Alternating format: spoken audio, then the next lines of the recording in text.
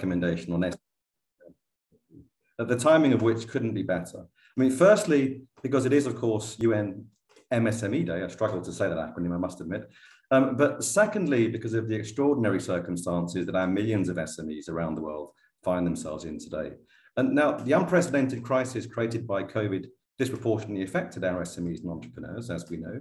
Um, SMEs accounted for 75% of employment in the sectors most exposed to lockdown restrictions, and many of them only survived because of a combination of public support and, of course, their own innate ingenuity.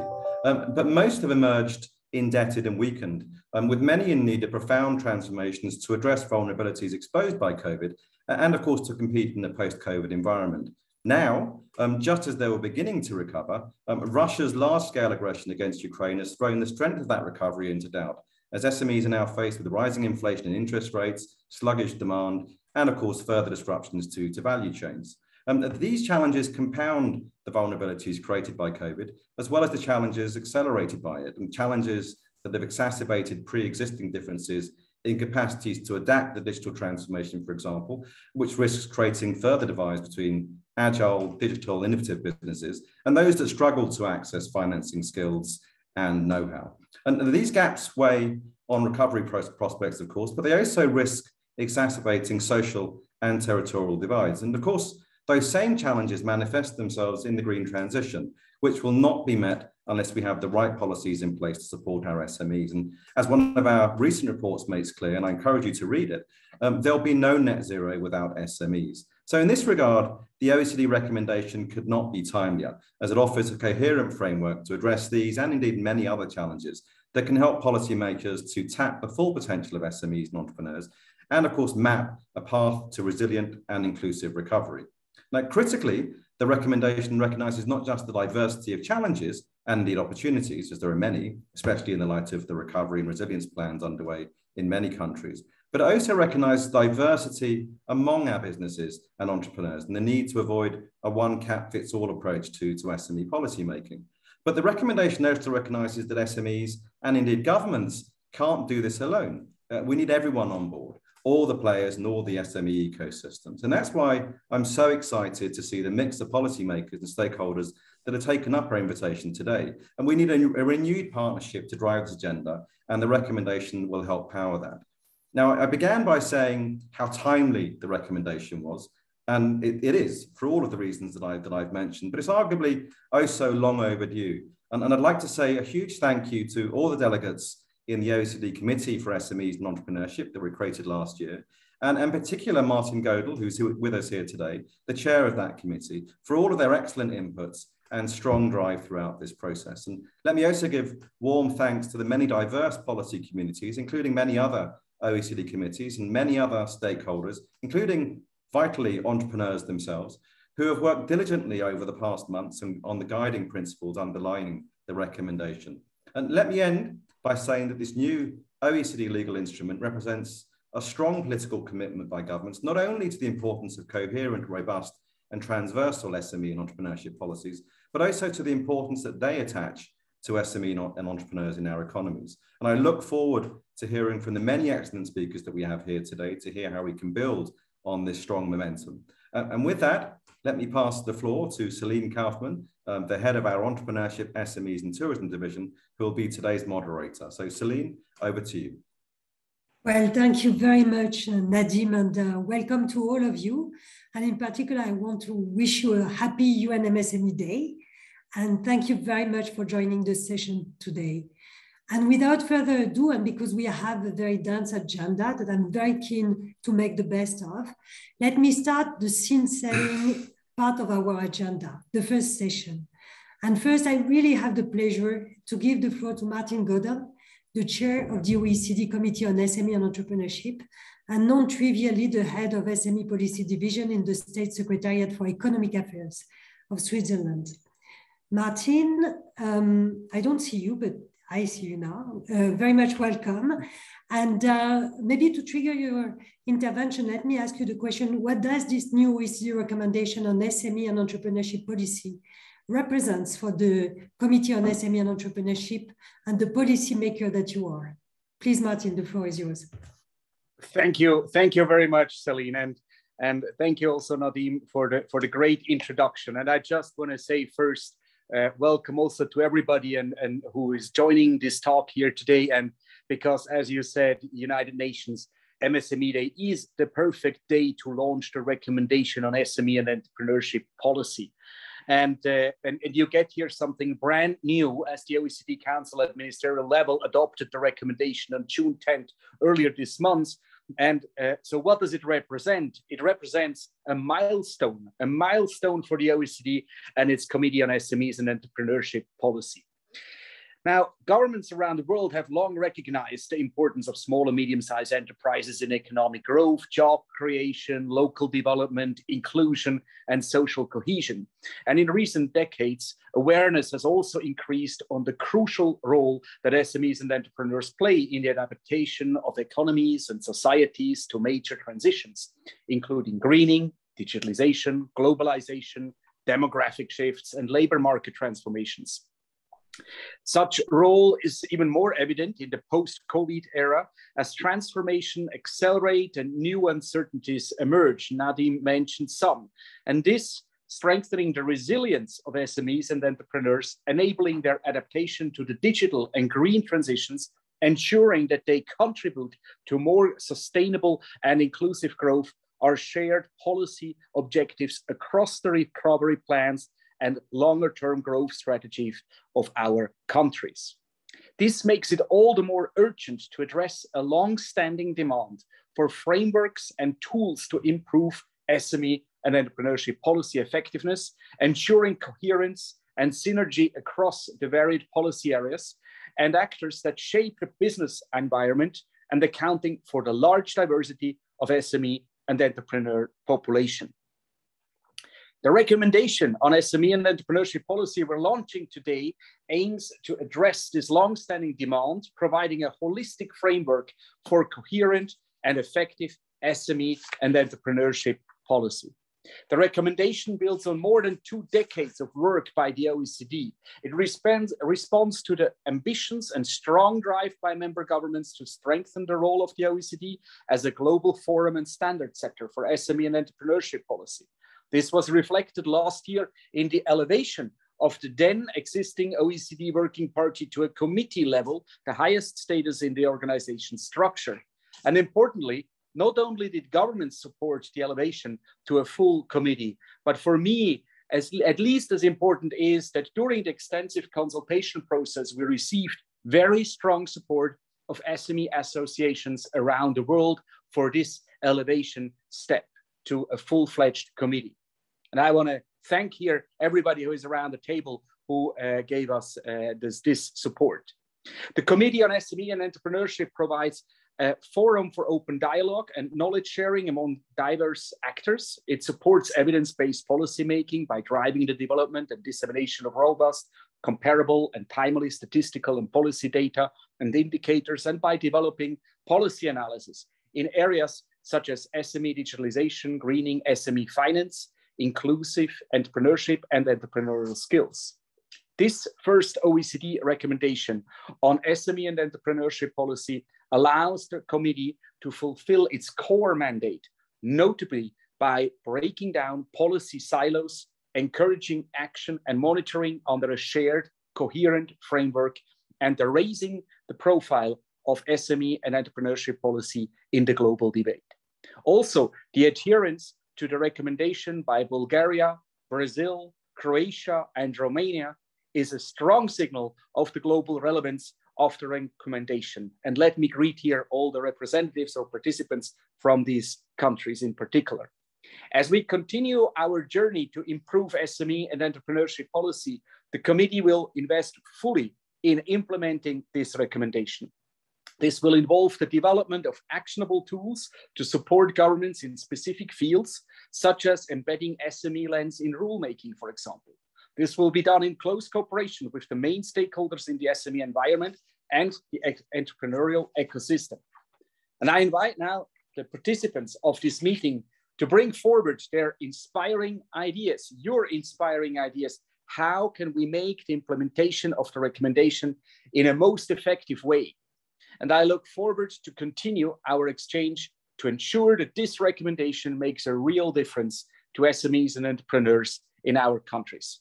And I would like to give back the floor uh, to Celine. Thank you all.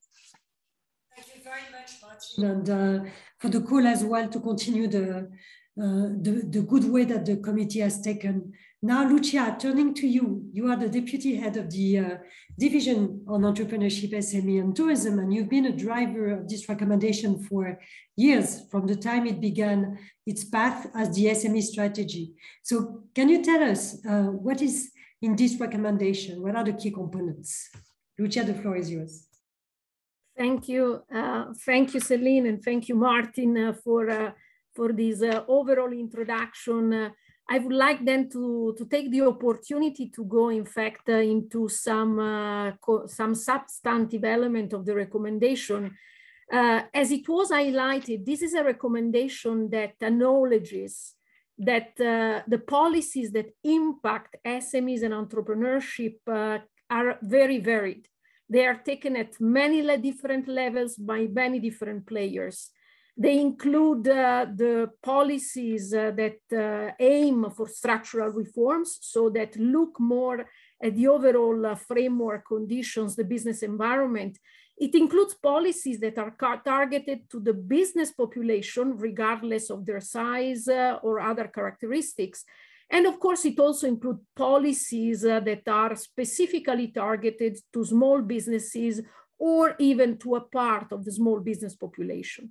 So within this rather complex environment, uh, uh, the recommendation aims to offer uh, a navigation plan, a coherent and strategic approach that encompasses all these dimensions, a mix of targeted and horizontal measures.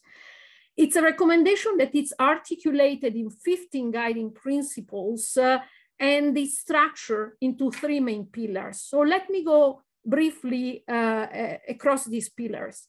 First of all, the first pillar is a pillar that focuses on policy coordination and governance. So it focuses on the effective mechanism to design, implement, monitor, and evaluate policies in order to ensure that uh, synergies are there, that there is coherence across the many government bodies, the many ministries and, and agencies uh, that take decision with regard to uh, SME and entrepreneurship policy.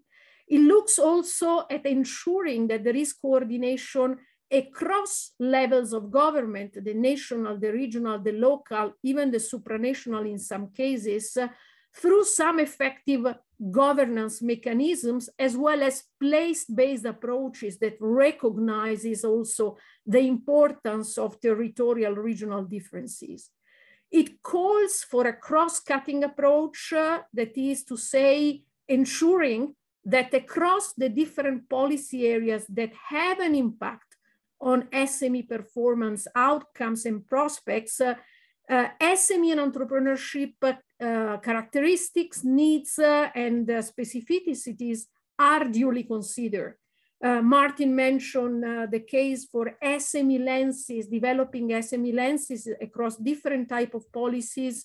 We can add the importance of user-centric approaches in implementation as to address uh, trade-offs, reduce administrative burdens, but also take uh, into uh, account the possibility to take advantage of synergies. And all of this naturally requires that, however, the large diversity of SMEs and entrepreneurship is considered, is duly taken into account, such as, for instance, uh, with uh, more granular data, more granular understanding and information about uh, the diversity of the SME population. The second pillar concern uh, transitions and resilience. So it's a, it's a pillar that uh, consider the drastically changing environment for SMEs and entrepreneurs, such as those brought about by the digital transformation, by the green transition, by the changing configuration of global markets and global value chain. And so calls for policymaker to support SMEs addressing these changes adapting to this changing and seizing the opportunity that emerges from them. So enabling uh, uh, in, in different ways the SME population to benefit from this transition. And it's, uh, uh, these are guiding principles that places large emphasis on, for instance, conducive regulatory frameworks, but also open markets, uh, uh, incentives for innovation, for adoption of technologies and innovation, as well as for innovative entrepreneurship and scale up. But this is also a pillar that uh, recognizes the role of SMEs and entrepreneurs for the overall resilience of economies and society. So the role that they play for a more sustainable, resilient, uh, and inclusive future, which means taking into account also important aspects related to inclusive entrepreneurship, encouraging entrepreneurship, but also by underrepresented groups, uh, uh, ensuring that there is a level playing field and conducive conditions for productive and decent work for all types of entrepreneurs, including the self-employed, but also including, for instance, entrepreneurs uh, in the new platform economy. And it's a, it's a pillar where principles underlines the important social impact of SMEs and entrepreneurship. So the relevance for policymakers to encourage responsible business conduct and for improving the social outcomes of entrepreneurial activity. And finally, the third pillar of the recommendation focuses on access to resources. So it calls uh, for uh, enabling uh, SMEs and entrepreneurs to access the strategic resources that they require for, uh, for thriving, for scaling up, uh, for innovating. Uh, these include innovation assets, knowledge and innovation network, uh, diverse financing instruments, sources and channels that cater to different type of needs of SMEs and entrepreneurs. It calls for developing skills and entrepreneurial mindset uh, placing emphasis in particular on transversal skills, those that are relevant uh, across tasks, across jobs and sectors such as digital, managerial, problem-solving skills. And it also places an emphasis on the importance of strengthening the ecosystems of small businesses and entrepreneurship uh, that comprise a large variety of actors, including the role that uh, the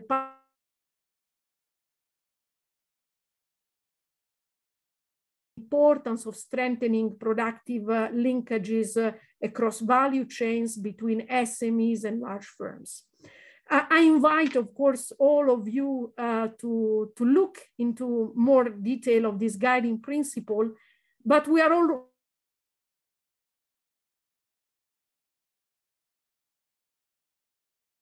implementation as the recommendation is open to non-member adherence, it has a global relevance. So we look with much interest at the fact that uh, non-member countries or accession countries have already decided to adhere to the recommendation. Uh, the recommendation is a soft instrument, legal instrument by the OECD, soft law instrument. Uh, it has a very important component that relates to reporting about its implementation. So there will be a process of reporting to the OECD Council.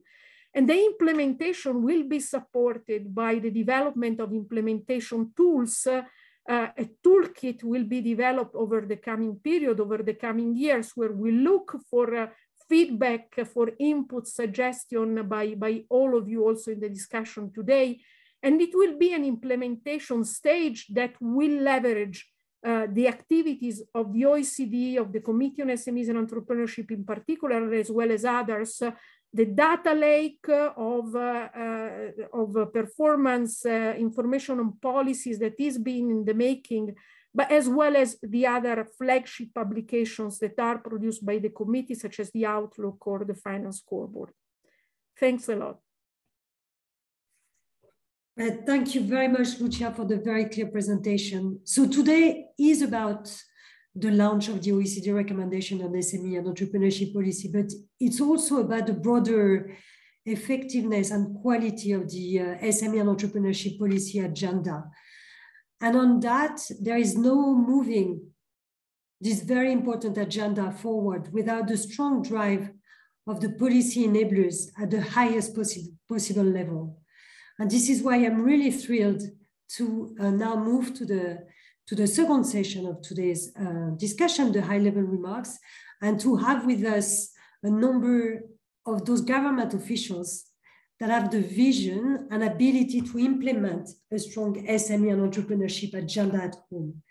So let me uh, welcome uh, for that session State Secretary Jan Oravec from the Slovak Republic. I understand, unfortunately, that the Secretary General uh, Raul Blanco of Spain um, is not able to join the session, but maybe he'll uh, come later, so we may give him the floor later. But let me finally welcome Ambassador Adriana Mejía Hernandez of Colombia, and thank you all very warmly for your presence.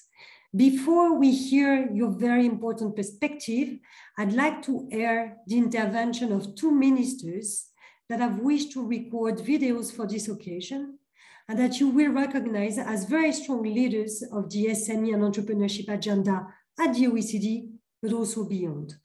And let me first welcome the recorded intervention of Minister Stuart Nash, Minister for Economic and Regional Development, Forestry, Small Business and Tourism of New Zealand.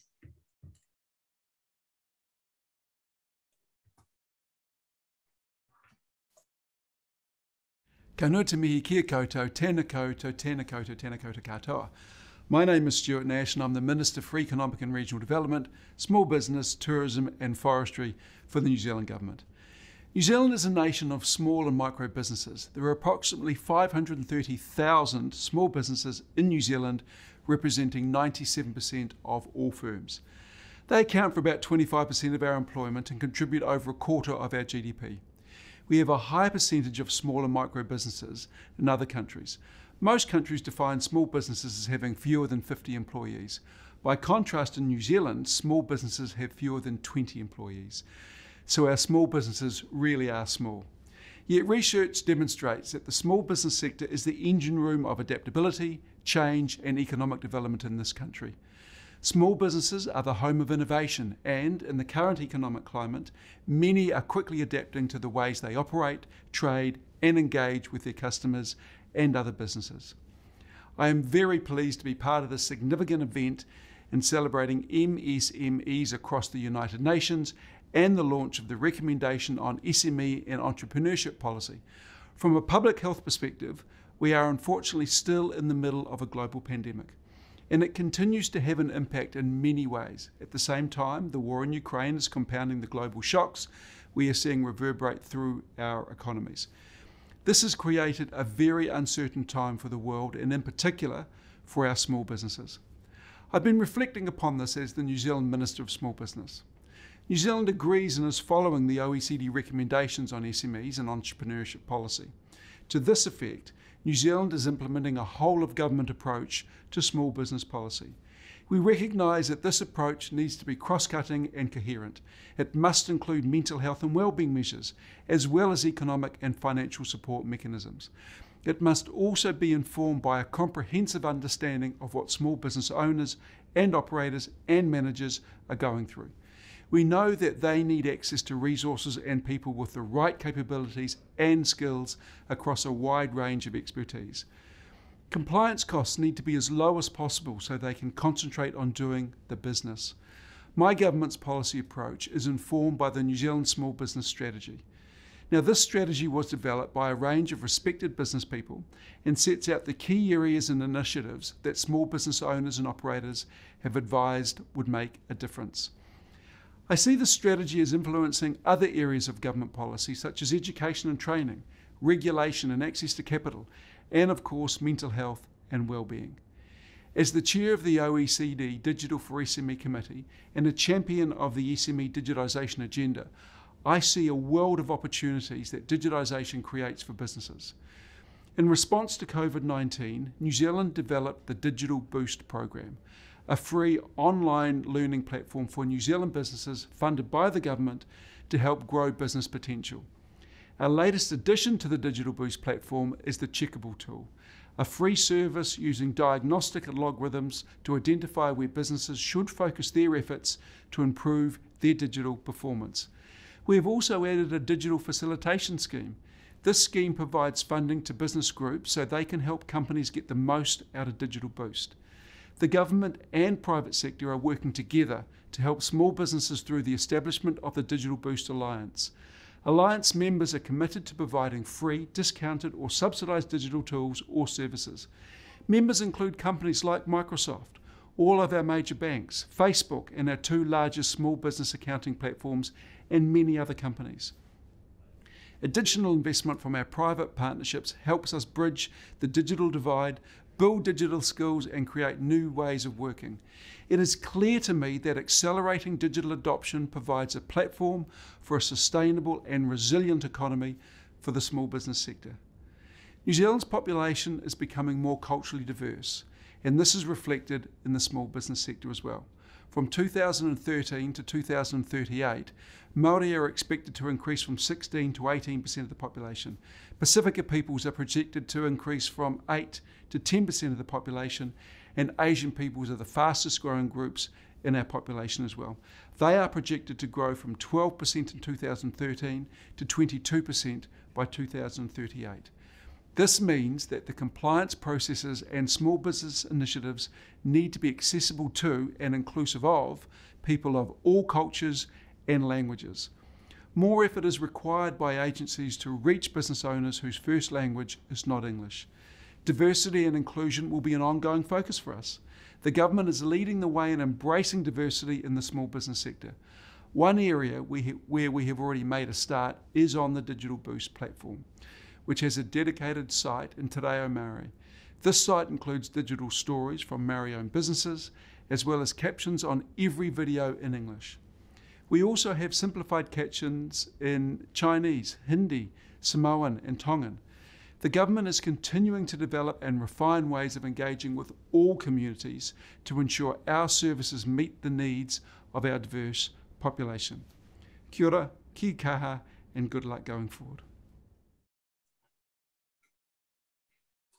Let me now uh, turn to the second strong leader of this uh, agenda at the OECD and beyond, and welcome the recorded intervention of Minister Robert Troy, Minister of State for Trade Promotion, Digital and Company Regulation of Ireland.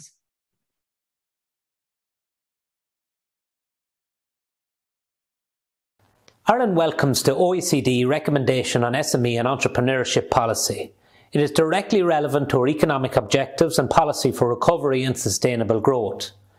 In Ireland and around the world, we're having to respond with unprecedented speed to the challenges that face SMEs and entrepreneurs today. External events such as COVID 19 and the war in Ukraine have required robust and timely policy interventions to help SMEs and entrepreneurs adjust to new economic challenges. Meanwhile, the acceleration of megatrends such as the transition to digital and green ways of working have also required decisive and forward-thinking policies to ensure that SMEs and entrepreneurs are equipped for the future. The OECD re recommendation will support coherent and impactful SME and entrepreneurship policy development to address these challenges. The guiding principles set out in the draft recommendation align with our current priorities in Ireland to deliver concrete improvements in key areas such as SME digitalisation, access to finance, management skills and cluster development. Through implementation of the SME and Entrepreneurship Growth Plan, we are also working to ensure a more cohesive and unified approach to state supports so that SMEs of all sizes and across all sectors receive a consistent level of support, allowing a greater number of them to increase their productivity, competitiveness and digitalisation. Other priorities include internationalisation, applying the SME test to access and potentially mitigate the impact of new legislation on SMEs, and SME access to public procurement opportunities. We can only achieve these objectives through effective coordination and alignment of resources by various actors across government. I welcome the fact that this is a central theme of the OECD recommendation on the SME and entrepreneurship policy. To optimise the impact of the recommendation, I believe it is necessary to implement all aspects given the interdependencies that exist within it. This has certainly been the experience of my department through our implementation of SME and entrepreneurship policy in Ireland. For instance, SMEs will only be able to grow in international markets if they succeed in navigating both the digital and green agenda, have the right management skills, access to finance and other critical elements. Enterprise Ireland, an agency of my department, has responsibility for assisting exporters and potential exporters and has set out several initiatives to create resilient, internationally focused Irish enterprises. We have set an ambitious target to add an additional 2,000 exporters. The SME Growth Plan also highlighted an adequate supply of credit to SMEs through state-backed loan schemes and equity investment schemes as a key action. Climate is obviously high on everybody's agenda, and how we look after our planet now will determine the landscape for the future SMEs. Ireland's Climate Planning Fund for Business is targeted at companies of different sizes and all different stages of their zero carbon journey. The Enterprise Emissions Reduction Investment Fund supports grant aid to reduce the payback period on key carbon reducing technologies for manufacturing. These investments increase the resilience of companies to compete in decarbonised supply chains and puts them on a pathway to net zero carbon. Also aligned with the recommendation, we are collaborating with the OECD to help ensure that entrepreneurship training programs are more inclusive of different populations such as women, migrants and people with disabilities. When it comes to implementing the recommendation, one key challenge is to ensure a unified approach that brings together all of the actors that play a role in fostering better inclusive and sustainable growth for SMEs. In September 2020, we set up an SME Growth Task Force comprised of all the relevant stakeholders, including ministry and enterprise agency officials, entrepreneurs and business leaders, to deliver a long-term strategic blueprint for SMEs beyond COVID-19. I co-chaired the implementation group, which was established in February 2021, to examine and take forward these recommendations, and again, all the key stakeholders are represented. Through this implementation group, we have identified priority recommendations that we feel have the most potential to make a positive impact on the SME sector in 2022. We have worked hard to ensure a joined up, holistic approach to implementation involving regular consultation between our department, state agencies and the business community. In the same way, implementation of the OECD recommendation will require effective coordination of the many and varied strands that play a role in national SME policy development. I look forward to continuing our engagement with the OECD and other member countries on these important policy issues. Thank you.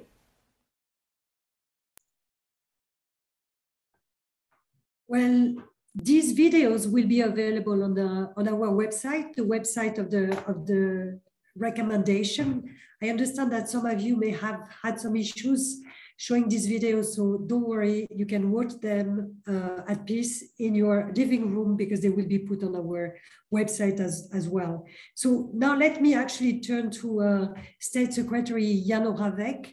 It is really a pleasure to be in contact again with you and uh, to have you in the discussion of today.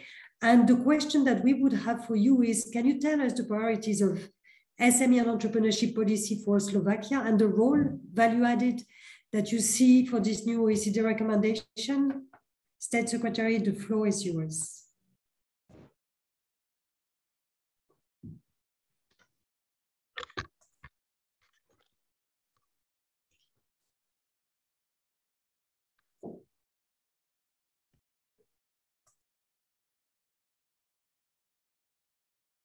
Yes, I, we can see you. Please, State Secretary, the floor is yours uh, on your perspective of the priorities for SME and entrepreneurship policy in the Slovak Republic. Welcome. Thank you very much, Celine. I had some difficulty with the camera and fighting with that uh, to the very last moment, so I didn't hear you calling my name. Uh, dear friends, uh, let me first congratulate the OECD, Celine Kauffmann and her team, the new chair of the new committee, actually for creation of the committee of the OECD on SME and entrepreneurship. I see that as a very important signal that the OECD is uh, assigning the uh, these issues of uh, SMEs development and entrepreneurship very uh, in high importance. So it is one of the priorities and I congratulate you on that and looking forward to all other uh, products of the committee and the products of its work. I think this one that is uh, we are debating here, which is OECD Council meetings, uh, is a very good product and I congratulate you on that achievement. Sometimes when we are debating with the experts of OECD and debating their uh, reports, uh, my concern as the policymaker is that those reports uh, are having uh, way too many recommendations. And uh, uh, for the policymaker that is overburdened by many other agendas, it is always useful to reduce the number of recommendations as, as much as possible. And uh, if, uh, I've seen from your exercise that it was almost, uh, uh not almost, it was a really global exercise where there were 180 uh, responses from 48 countries. So I can imagine how gargantuan work it was to uh, reduce all these proposals uh, into nice three pillars containing uh, 15 guiding principles. So I want to congratulate you on, uh, on that. What concerns the, the principles themselves, well, I subscribe to all pillars that are defined. Uh, they are very well targeted.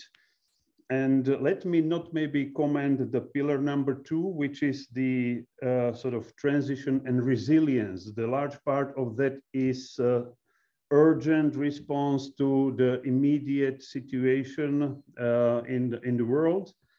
And the I believe that, of course, it is now the largest part of our policymaking activities to make sure that our companies are able to face this very difficult situation of uh, supply chain disruptions, etc. But that is the most pressing and the most important uh, uh, priorities for us today, especially uh, I'm talking uh, from Slovakia, which is the neighboring country of Ukraine. So we are feeling immediate impact of the war in Ukraine.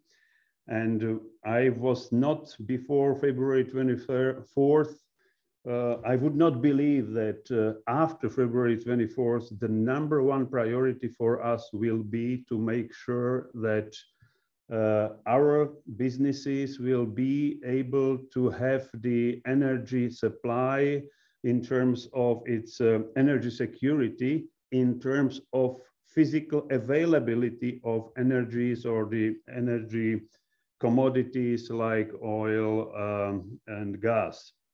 So uh, we are facing this very uh, difficult situation. Of course, maybe 90% of our activities are focused on that these days. But the art of the policymaking is the way how successfully we are able to combine these uh, urgent responses with the ability to continue in longer term uh, approaches. So I like, I believe that the pillar number one and pillar number three is all about these longer term approaches. And uh, uh, especially the governance issue, that's the important and the close to my heart because I was representing for more than 20 years the businesses.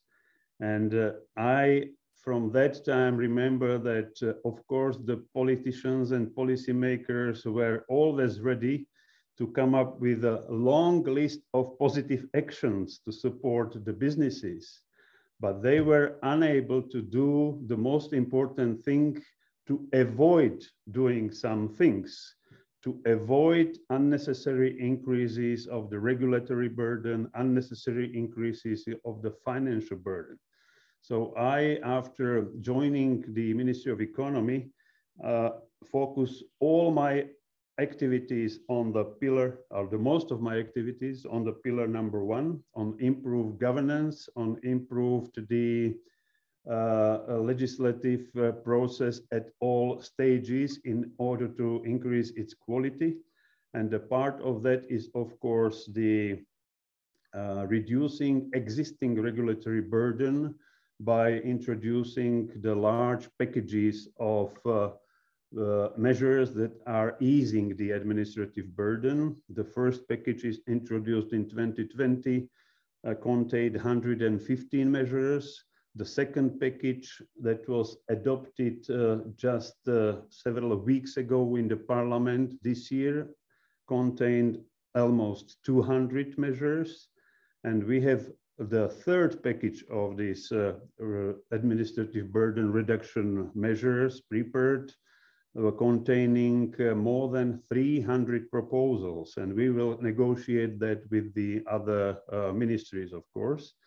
Uh, and in order to reduce the existing burdens in existing legislation, we are also introducing what was not in Slovak uh, policymaking process uh, usual. In some countries it is, not in our case. We are introducing the regular ex post evaluation, and we are just going to uh, publish the register of 50 regulations that will be evaluated by responsible ministries by the end of uh, this year. So that's the all about the existing regulation and the reduction of the burden. But we have also adopted quite courageous uh, measures to prevent the future uh, growth of regulatory burden from newly proposed uh, legislative uh, activities. And uh, we have we have introduced in uh, May 2021 the principle one in, one out, which is uh, there to uh, to make the new obligation for the ministries to compensate for regulatory increases by the reduction of the regulatory burden in uh, other area.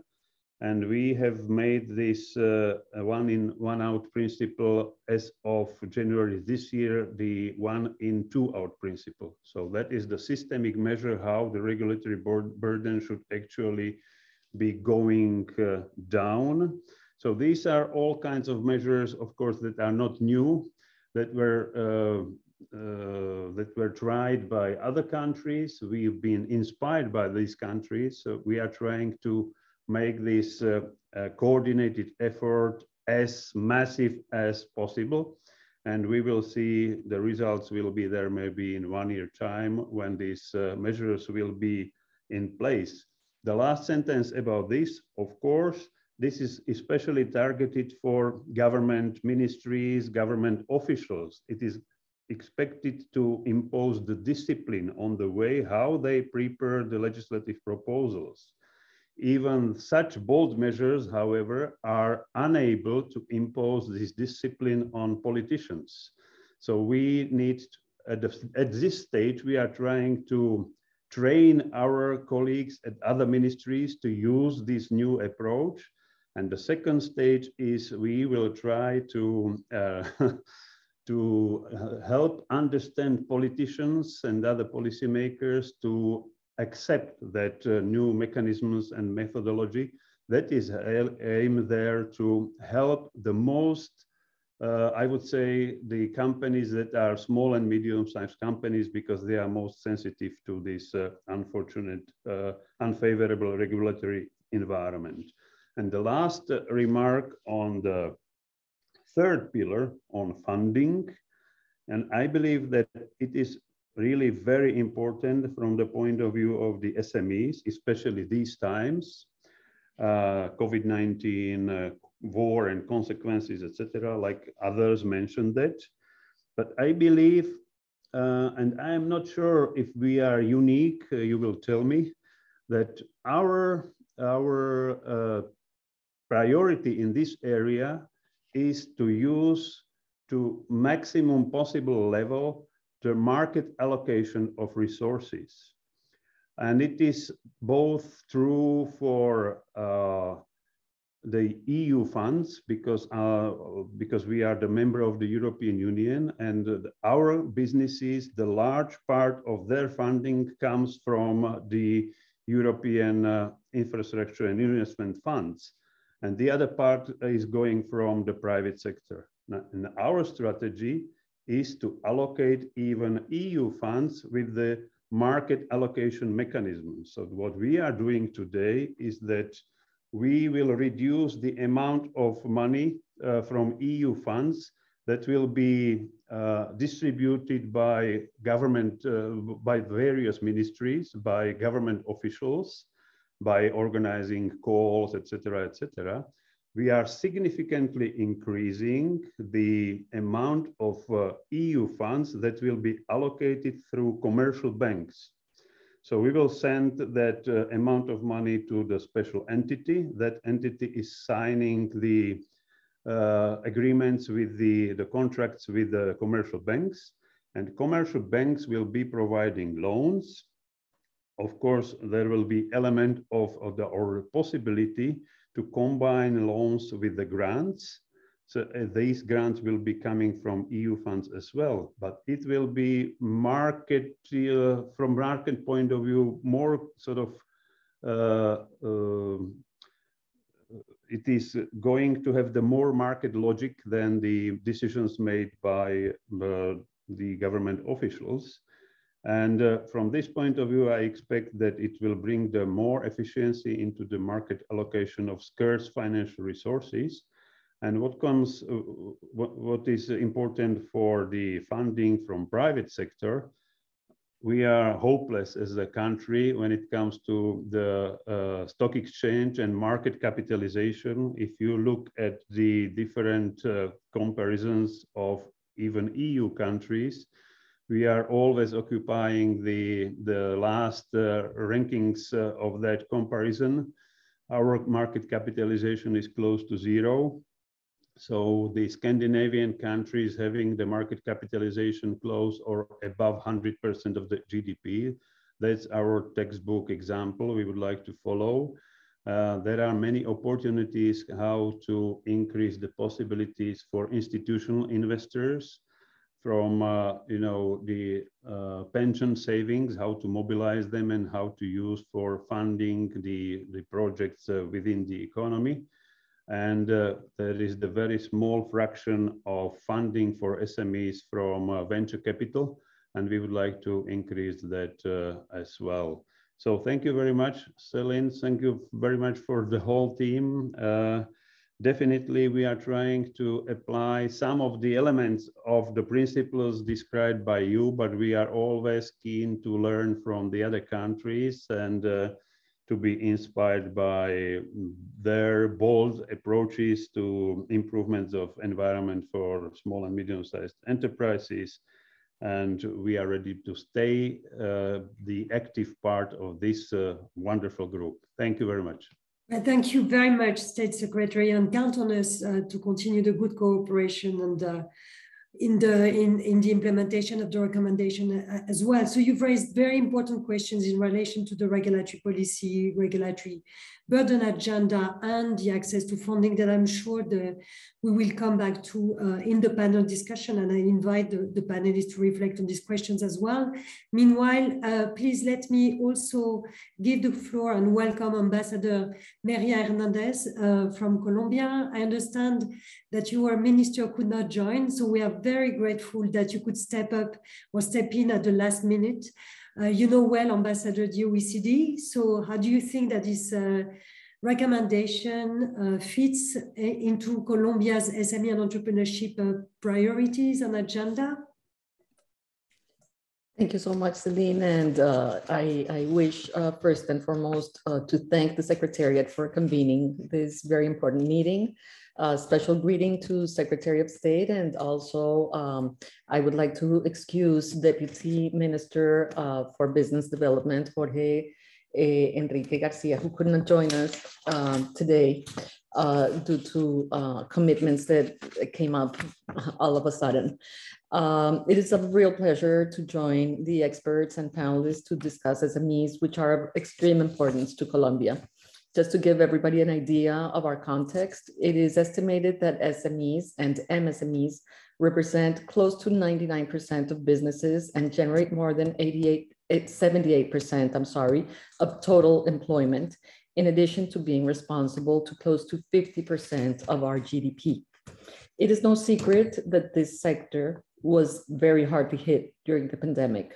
With this in mind, our government designed and has implemented the commitment to Colombia, which is a recovery strategy as a pledge to achieving economic and business reactivation, as well as to respond to the effects of the crisis that was originated by the COVID-19.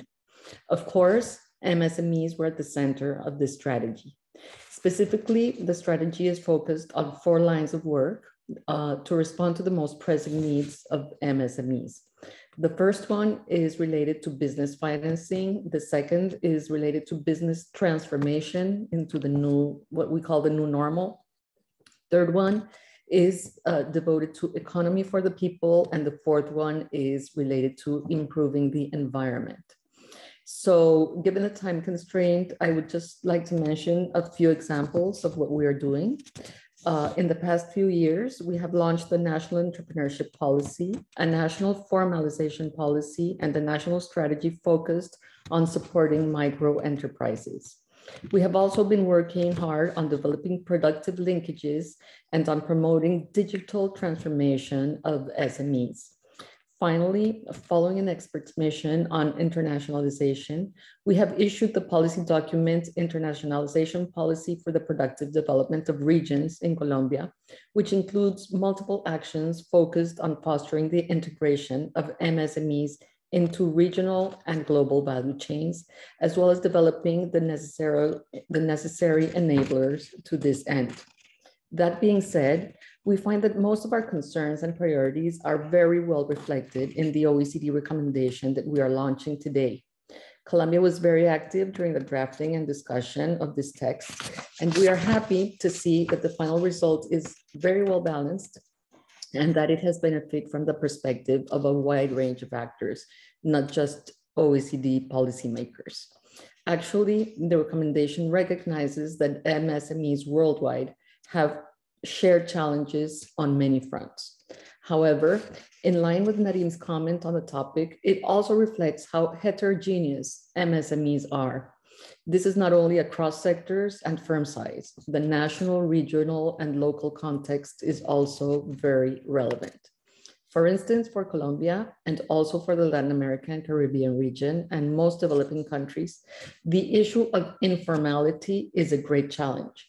Including a specific mention of this issue makes the recommendation all the more suitable for policymakers at a global scale. All in all, I am confident that the OECD recommendation will be a useful guide for policymakers, both for OECD member countries and beyond the organization. We are already seeing this, this very wide reach with the four countries that are in the process of exceeding the organization, as was mentioned by Martin uh, earlier on. Once again, thank you for this uh, invitation and I look forward to the panel discussion. Thank you so much. And thank you very much, Ambassador, and also for your leadership on these issues within the OECD as you are the chair of the group of friends on SME uh, and entrepreneurship at the OECD. Thank you, Ambassador. And I'm very delighted to uh, open the panel discussion to the critical government representatives and the stakeholders that have agreed to share their perspective on a bit of a broader theme, which is the future of SME and entrepreneurship policy. But before uh, I start going to the panelists, um, let me show you in three minutes exactly the feedback that we've received from a number of key stakeholders and that we have uh, combined for you in a very short video.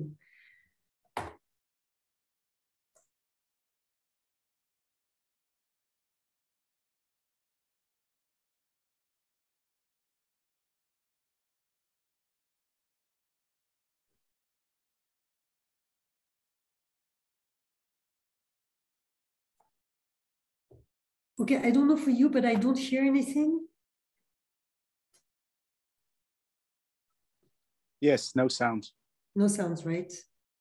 Shall we give it another try with the sound on top, if we can?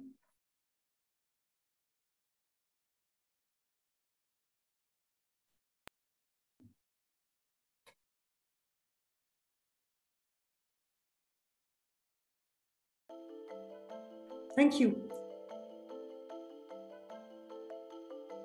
We live in a very challenging world with many, many things competing for our attention. We've had the impact of two years of COVID, of course, and now that's compounded by the strong economic ripple effect of the war in Ukraine.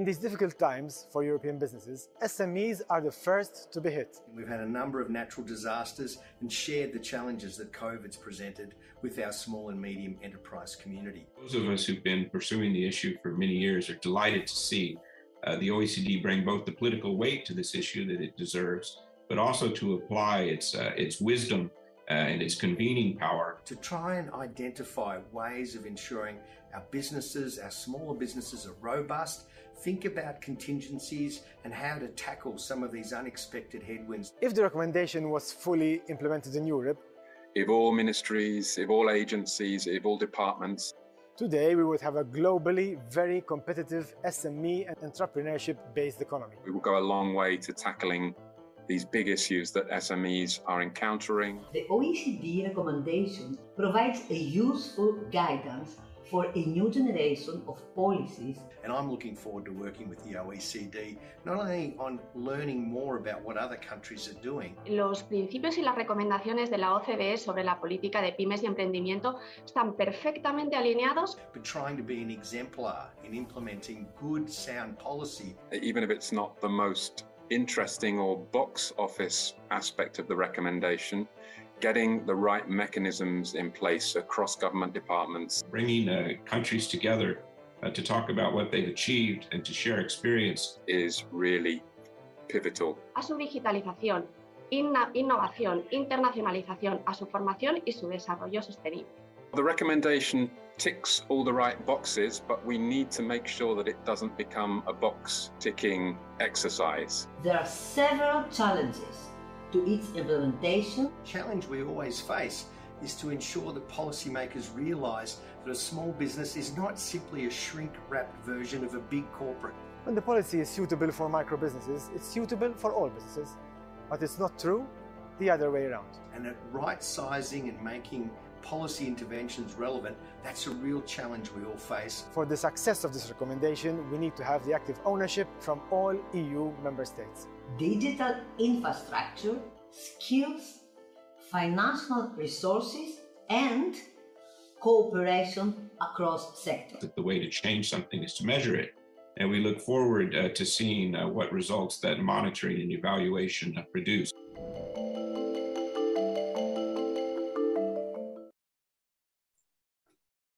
So I'm, I'm, sure you noticed that we didn't put the names of the contributors early. it was a little game, but I'm sure that you recognized all of them and we put their name in the middle of the video more or less. So uh, I thank here Bruce Billson, the Australian Ombudsman for Small Business and Family Enterprise, Ben Butters, the CEO of uh, Eurochambres, Stefano Mallia, the president of uh, the Employers Group um, in EESC, the Economic and uh, Social Committee of Europe, Valia Aranitou, director of the Hellenic Confederation of Commerce and Entrepreneurship, Isabel Puig, the president of the SME Commission Chamber of Commerce of Spain, and Paul uh, Hofheinz, the president and co-founder of the Lisbon Council. And just uh, be, ensure that you go and listen to their full interventions that uh, will be put as well on our website after the webinar, and we'll share the link on, on the chat. Um, but now let me turn to our panelists, having uh, listened to all the interventions early, early on, to ask them the, this question, what is the future of SME and entrepreneurship policy in your view, and how do we ensure impacts we heard that uh, this recommendation should not, the OECD should not become a tick the box exercise. So what needs to be done so that SME and entrepreneurship policies have teeth and have an impact on the ground to help all the SMEs and entrepreneurs uh, around us. So let me first turn to answer these difficult questions to uh, Director Gemma Peck, uh, Director for Business Growth at BEIS, uh, the Department for Business Energy and Industrial Strategy in the UK. Uh, Gemma, please um, give us your perspective from, from the UK. Thank you so much um, for the opportunity to speak today. I'm delighted to be here. And it's been fascinating so far to hear from counterparts from across the world uh, on the importance of SMEs and how we're sharing so many of the same challenges and, and opportunities as we support them to thrive. We greatly value the work that the OEC does to advance our collective knowledge and drive excellence in policy making and so strongly support the recommendation. Uh, I was reflecting uh, when I was listening to people's remarks on um, chairing a panel in the Department of Business here two weeks ago, led by our um, historian society. And they brought together a former minister, an academic and a business leader to reflect on UK enterprise policy over the past 75 years. And it was fascinating to reflect on how it has evolved and so important to learn from it. And indeed, supporting enterprise is one of the top level priorities for my department, aiming for nothing short of being one of the best places in the world to start and grow a business um, to create jobs and to encourage investment. And part of this is about increasing opportunities across the whole country or levelling up, um, as you'll hear the government describe it, to create a more resilient economy and fairer, flexible workplaces. We're working hard to drive up productivity and create high value, better paid jobs. So nothing if not ambitious.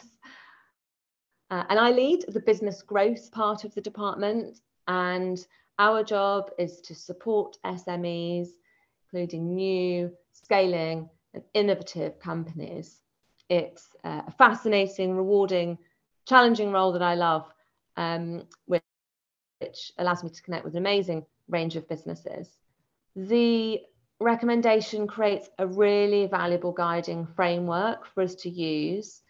And I thought I'd address the pillars in turn and talk about how they relate to the UK's priorities. So, the first on policy coordination and governance, so important that it describes, uh, promotes a whole of government approach and the need to build in the perspective of SMEs and entrepreneurs.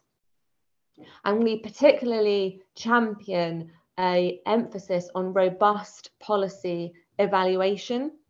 And that is something that my directorate is very, very engaged in, uh, including, for example, the evaluation of the support programs that were put in place during the pandemic. So uh, we have in fact just published an initial review uh, of the support that was uh, delivered in the pandemic by the British Business Bank, working through lenders. Um, happy to share the report in full for those who are interested. Just to highlight a couple of the findings, our loan guarantee schemes, which uh, underwrote close to 80 billion pounds in loan facilities, reached over a quarter of SMEs in the UK. And the, this initial report found that, that had been critical in directly securing the survival of 500,000 businesses. Secondly, the recommendation also rightly focuses on how we support SMEs to navigate and harness the major trends driving the economy, particularly those driven by technology. It's something many of the speakers have remarked on so far today. In the UK, we have a big challenge to address long-term productivity gap to competitor nations. That's an issue that's predate, that predated the pandemic. Um, and the productivity review that we undertook a couple of years ago told us how businesses, how important it is that SMEs use digital technology and the importance of management practices in driving up productivity.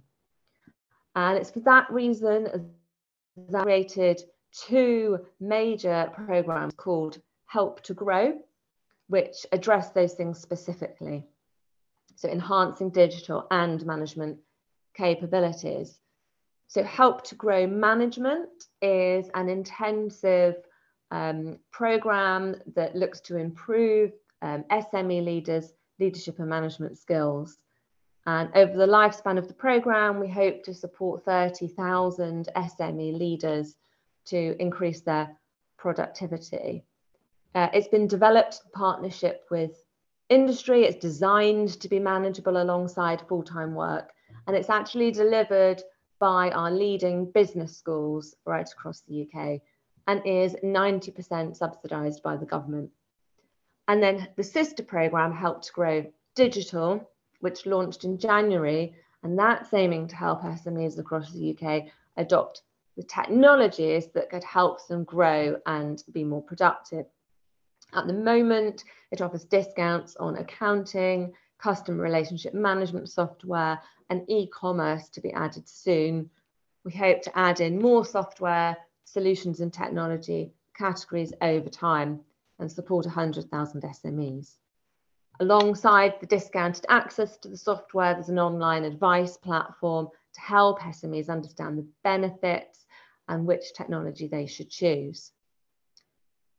Uh, also on the Help to Grow programme, we're taking, um, uh, we're pursuing a very extensive innovative approach to evaluation, um, because it's so important for us to learn about whether or not these pro programs are working. Uh, I could also talk here about the area of work I'm involved in around supporting emerging including AI, quantum technologies, uh, robotics, um, and other areas, um, which is uh, a really significant focus um, for this government. And of course, many of the uh, companies at the forefront of those technologies are indeed SMEs. But I will save that. For, I will save that for another time because um, uh, um, I'm probably already over my time. Um, of course, uh, uh, I have to mention the work that we're doing to support SMEs in the transition to net zero.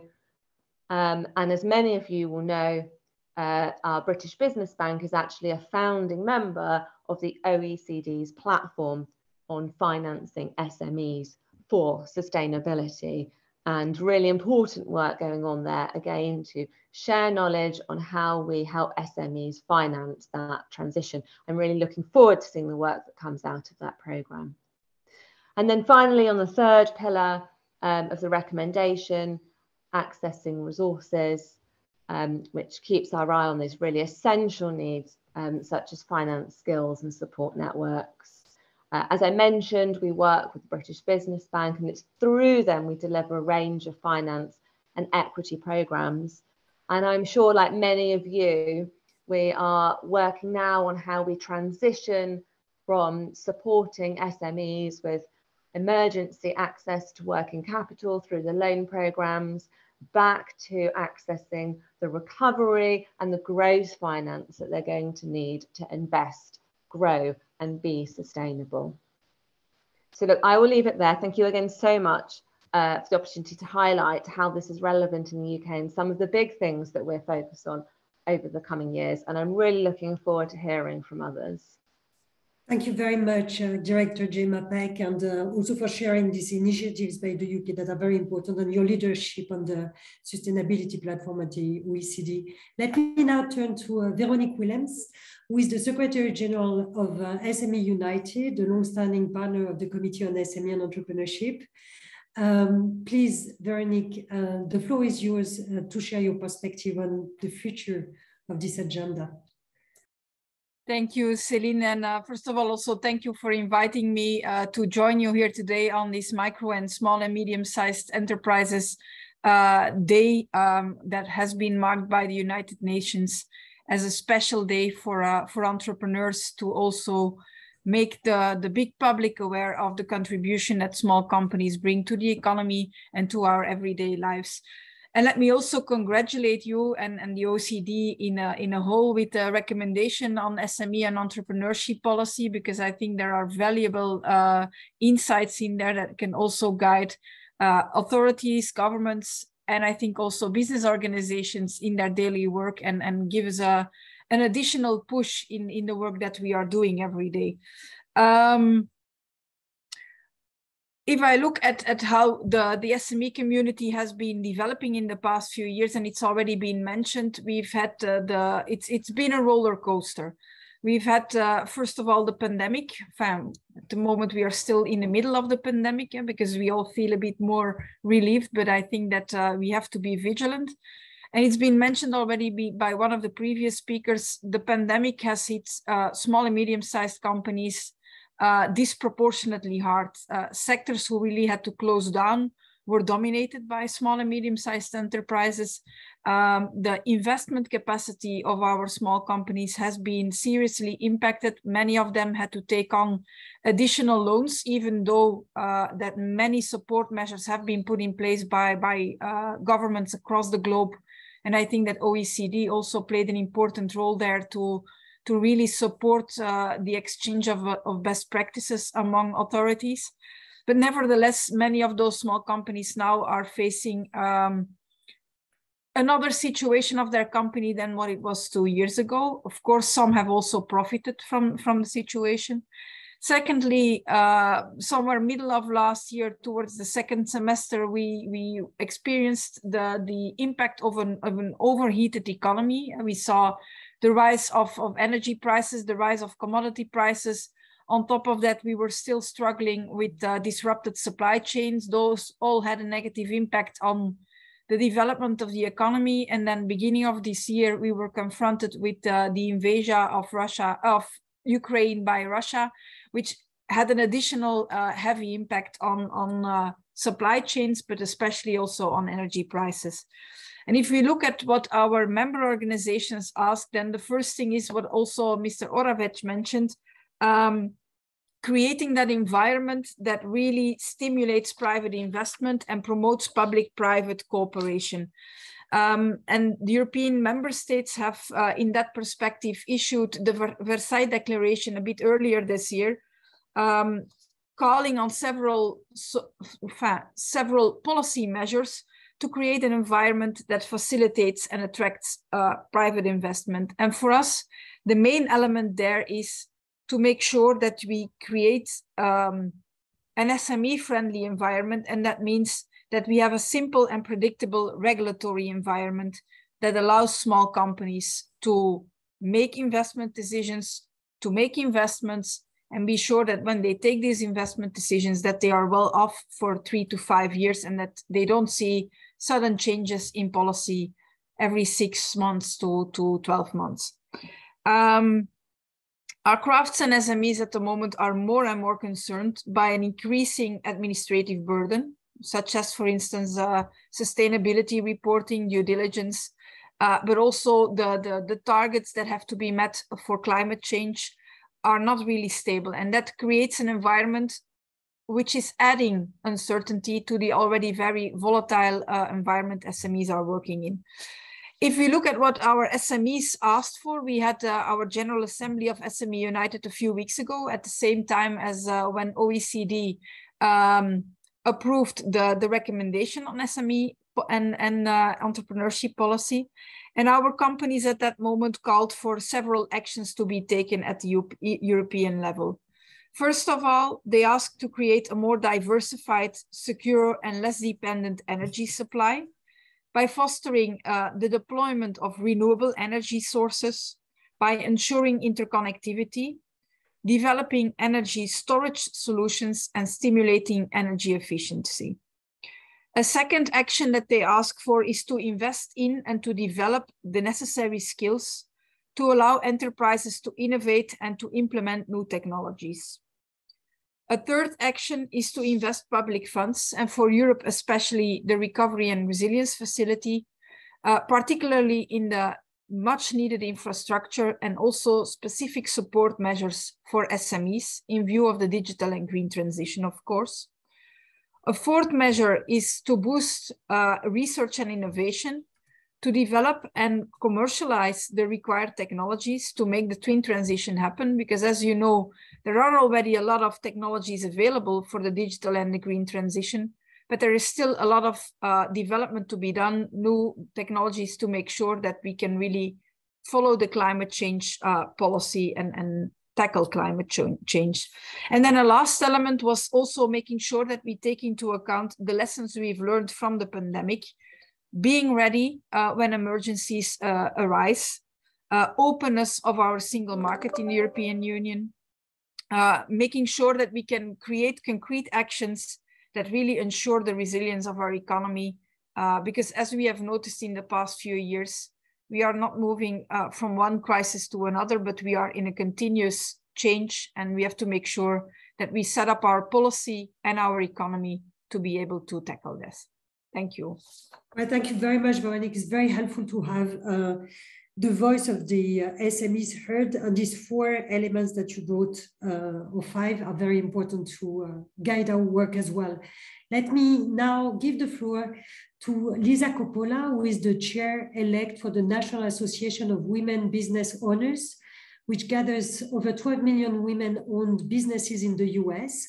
And let me point out that um, the National Association of Business of Women Business Owners were active in the consultation process that we led around the recommendation. So thank you for that as well. Lisa, the floor is yours. Thank you so much, and congratulations to the OECD on this monumental step forward. Uh, as you said, the National Association of Women Business Owners represents the interests of 12 million women business owners across the United States of America. And notably, this uh, nonprofit organization is bipartisan in its approach, in its philosophy. And our outlook here in the United States is quite consistent with the OECD's. As a result of the pandemic, what we've found here in the US is that more and more women are looking for new career path. And for this reason, NAWBO continues to focus our advocacy efforts on micro businesses and emerging entrepreneurs. Uh, we are very data driven. According to a recent NAWBO Intuit QuickBooks survey report conducted just this spring of 2022, approximately 80% of the women businesses surveyed believe a micro business is a business with less than 10 employees. Notably, under our federal legislation here in the US, a small business has uh, 500 or fewer employees. And for many of us, that seems like a considerable number of employees. And so NAWBO is advocating for lawmakers to codify a definition of microbusiness more similar to New Zealand's to be utilized by all federal agencies to better support access to capital and procurement opportunities. We know from our NAWBO Intuit report that smaller businesses do not have the same access to capital. And while 15% of women business owners reported receiving a loan, only 3% received a private loan for smaller businesses with smaller revenues. Also, according to the NAWBO Intuit report, more than half of our respondents expanded remote work during the pandemic.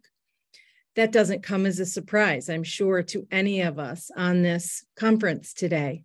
Almost all, a full 97% of our women business owners who introduce these new policies say that they're here to stay. But here in the United States, access remains an issue. We know from previous NAWBO surveys that more than a third of our Native American and American Indian women business owners, and close to a quarter or one fourth of Asian American Pacific Islanders report a lack of broadband access. So policymakers must ensure that our nation builds the proper infrastructure to reach these underserved populations, including oversight of broadband expansion efforts to ensure, just like the OECD believes, that no community is left behind. Further, according to our data resulting from the NAWBO Intuit report, the number one priority for women business owners right now is more funding or financial help.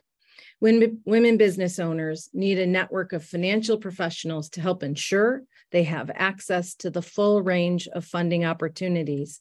So, establishing open communication with local and national banks open to financing small and micro businesses is critical. We also at NAWBO advocate that our federal small business administration outreach programs, such as women business centers, small business development centers, and the SCORE program, host events to connect women and minorities with financial institutions to form these much needed relationships. Also, we know that many women business owners in the United States lack access to financial literacy training. For women to be set up for success, there must be greater availability of education relating to financing, capital, and credit. And our lawmakers here in the US need to understand the new age woman worker and woman entrepreneur. Women business owners could have multiple employees or could be just starting. Our NAWBO Intuit report revealed that more than seven in 10 women business owners employ contractors. Here in the United States, there's a distinction between contractors and employees. And it's essential to note that for the flexibility afforded to business owners and their employees with the 1099 concept as opposed to W 2 employee status, where both laws and employers can impose restrictions that become barriers to the work life balance needs of women entrepreneurs. Like OECD and the European Union, we want to ensure that regulations allow for flexibility for our micro, small, and medium business enterprises. Once again, thank you very much for allowing the National Association of Women Business Owners to contribute today.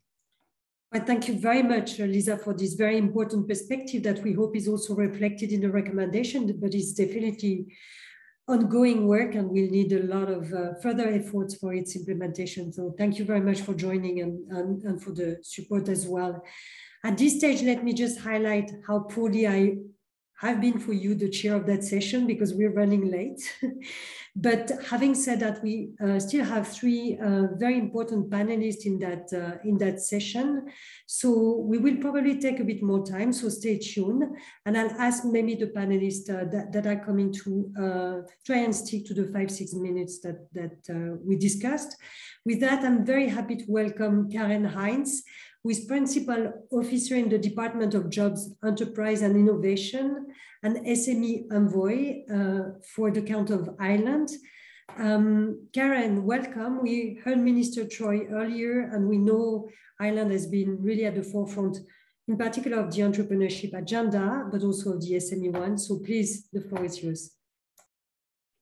Thank you, Celine. And I'm very happy to be here and to be part of the launch um, of the OECD recommendation. And as you said, I am head of SME and entrepreneurship policy in the Department of Enterprise, Trade and Employment and supporting the work of, of Minister Troy.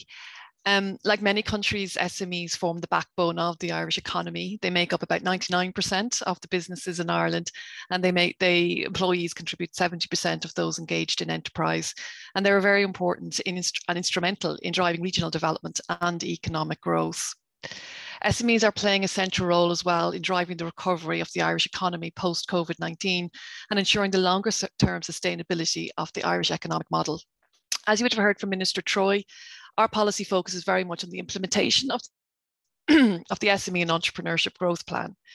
Um, this is a comprehensive strategic blueprint which was published last year and that was designed by a task force that was led by government and included entrepreneurs, business leaders, representative bodies, enterprise development agencies, and other stakeholders.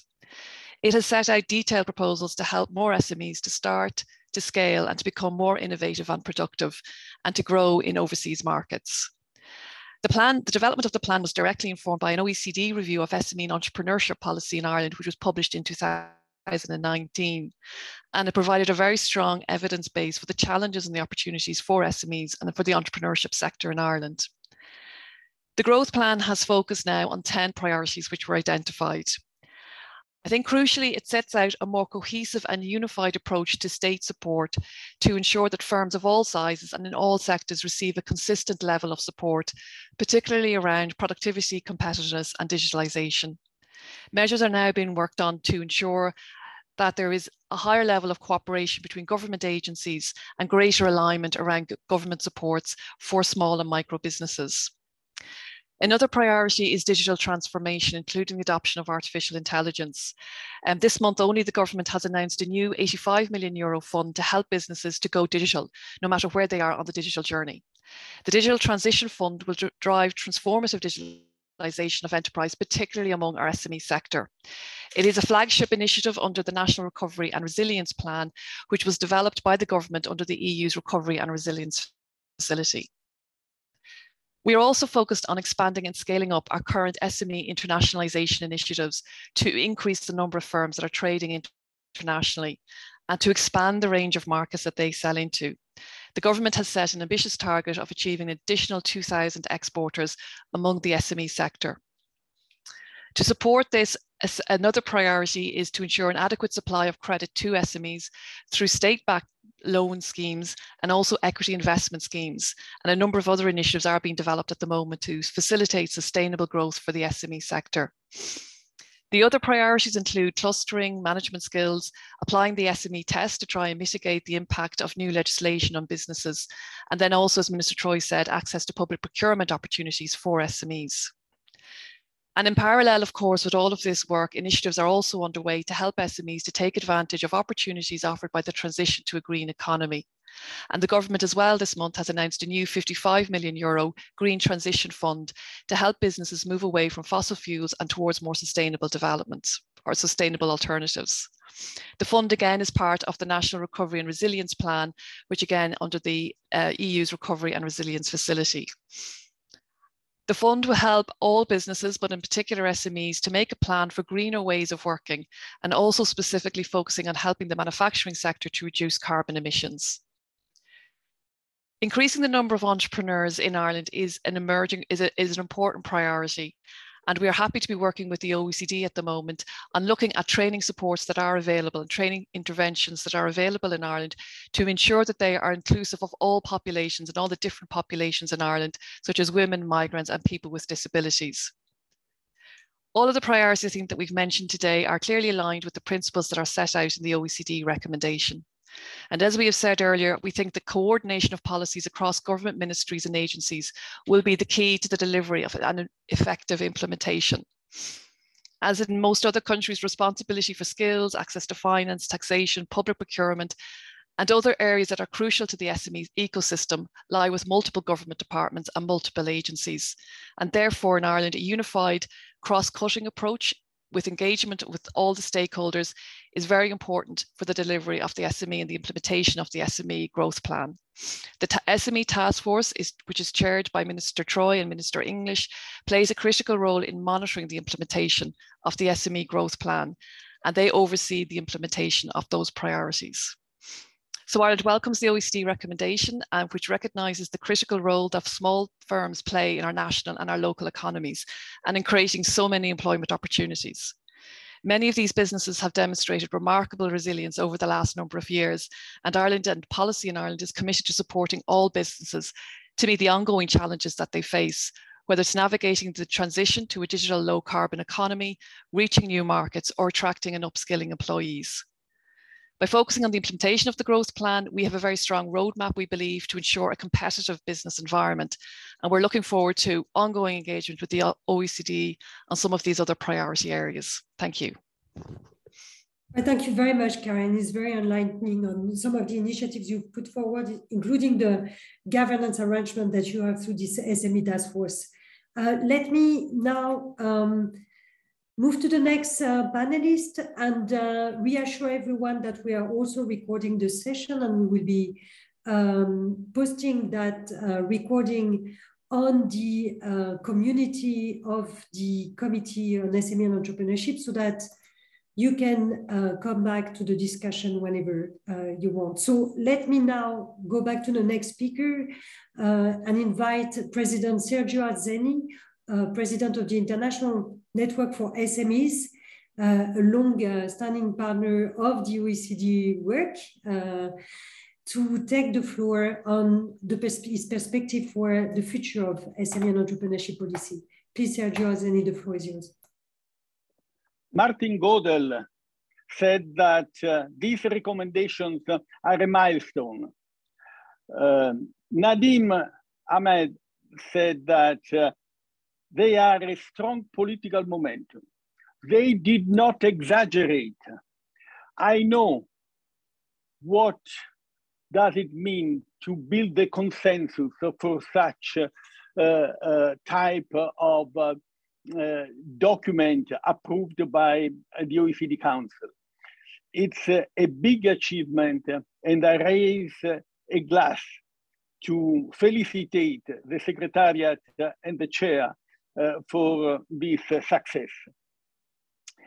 Eh, you can rely on the INSME for being a key partner for implementing these uh, uh, guidelines. But uh, out of the 15 guidelines, three are those that I care particularly. The first is to reduce time, uh, um, late payment, encourage uh, timely payments, and introduce uh, sanctions for those uh, large firms, public sector who don't respect it. Second, uh, to build a partnership, partnerships, public-private throughout OECD countries for um, um, investing in the upskilling and reskilling of the workforce in SMEs and for the small entrepreneurs themselves. And third, uh, to reserve in every country a share of public procurement, uh, not only for SMEs, but also for new firms. And uh, I think that uh, uh, we can work over the next five years to achieve this result. Now, the newly established committee on SMEs and entrepreneurship has a clear mandate from the Council and the mission with the deadline, five years. By uh, 2027, I hope we could uh, uh, deliver, the, you, the OECD could deliver to the, to the fourth OECD Ministerial on SMEs and Entrepreneurship, the result of these five years of work. And uh, I felicitate with that, and uh, we will be next to you to reach this result. Thank you. Well, thank you very much, President Arzeni, uh, also for these very three concrete uh, ways forward and focuses that you see for the next step for the OECD. And please let me use this opportunity to ask all the participants that are part of this um, discussion today, maybe to post on the, on the chat what they would actually advise the OECD to focus on in the years that are that in the years to come. Uh, President Arzeni, you mentioned that there is a five-year uh, reporting um, requirement, which is completely true. Uh, whether to a ministerial or not is another question, but indeed, where would you like the OECD to be and the OECD countries to be in the next, uh, in, in, in five years is a very important question. So for the participants on the back of, of the intervention from President Arzeni, if you wanted to post your advice, please do it on the chat because that will be very important for the discussion going forward at OECD. And now with that, let me go to the last uh, panelist in that session, uh, Mr. Getulio Vaz, who works at SEBRAE, the SME agency of Brazil, who's been also a partner in the work on, on SME and for the recommendation. Please, Mr. Vaz, the floor is yours.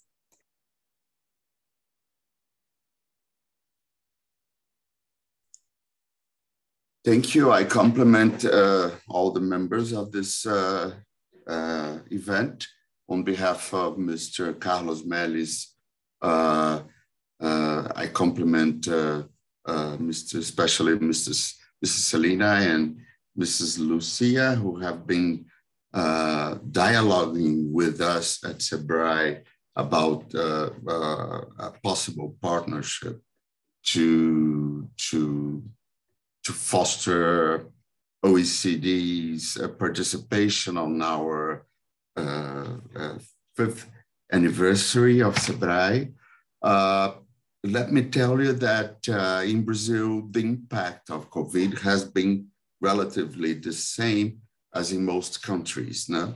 Uh, MSMEs have suffered an, a, a huge impact, and the main policy of the government was, in fact, a very expressive credit program uh, that was warranted by the government and whose uh, uh, uh default taxes were not as high as people, a more orthodox view on this, uh, were predicting. So it was very successful program and the uh, SMEs were had a huge benefit, especially uh, with working capital, uh, to go through this uh, economic crisis.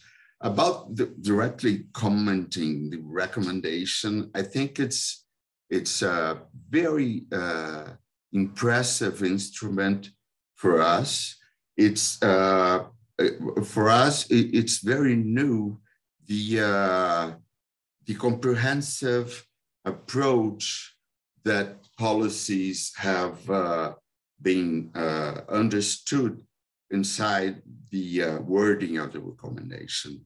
So I would point out, for instance, uh, the diversity inside what we call MSMEs. So, uh, especially here in Brazil and others uh, developing countries, we deal uh, with uh, poverty fighting, and these people are entrepreneuring uh, uh, for what we call need-based entrepreneur. And then we have also the high-end startups that uh, need venture capital and so on, and infrastructure. So it's highly diverse, and policies must be entirely different uh, because the problems and uh, are, are, are, completely uh, uh, socially, uh, they have a, a, very different meaning. so I think one of the great uh, things about recommendation is it fits not only developed countries' uh, needs, but also uh, uh countries, uh, uh, developing countries. So this is very important because the recommendation really has the potential to impact most countries all over the world uh, not only members of uh, OECD members, but also most non-members uh, countries. Uh, in this sense, uh, I think it's all important to disseminate the recommendation and this toolkit you're you are proposing, you will propose is very important for the actually use and implementation of the recommendation by most of the countries. And uh, our uh, main concern is that uh, in developing countries, uh, it's not really our case, but uh, when we see the, the most of developing countries, we and we know some because we do have technical cooperations with them. Uh, I think what the main difficulty they have is really to implement policies, uh, the, the, the, the, capacity to, to reach the, uh, the real uh, client that they have. Uh, the process is very uh, inefficient and, and expensive. And then what comes out to reach the clients is very little because cost effective is, uh, is really too bad.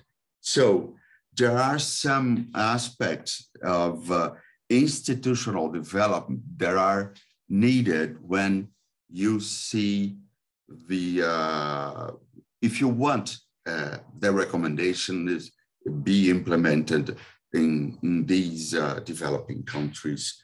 And what is really uh, important, for instance, for these uh, institutional development activities or possible activities is really to bring about the monitoring and evaluation. Now, this is a very uh, important thing. We know uh, that these activities cost money and uh, we should support uh, this kind of, uh, of approach.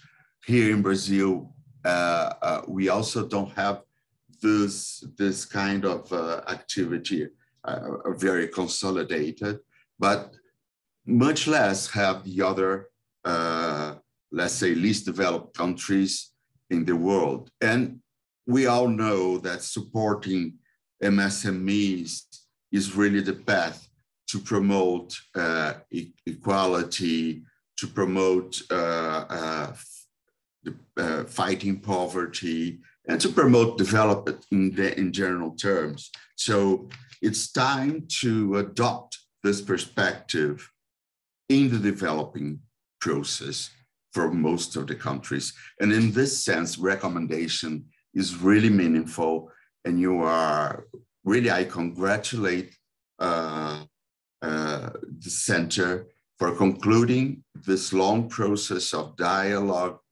And uh, we had the great opportunity to make some comments on the preliminary version of it. And uh, it, we didn't have time to adhere on the uh, July, on June the 9th when it was approved.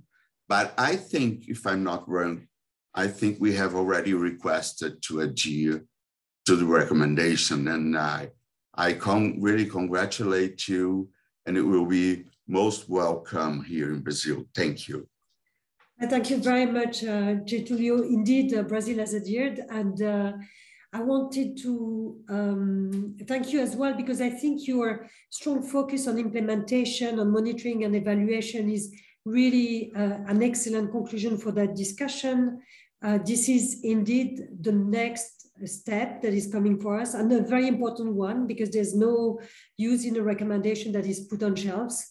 And we know that implementation is, is the key word uh, going forward uh, for all countries, not only developing countries, but OECD and all countries.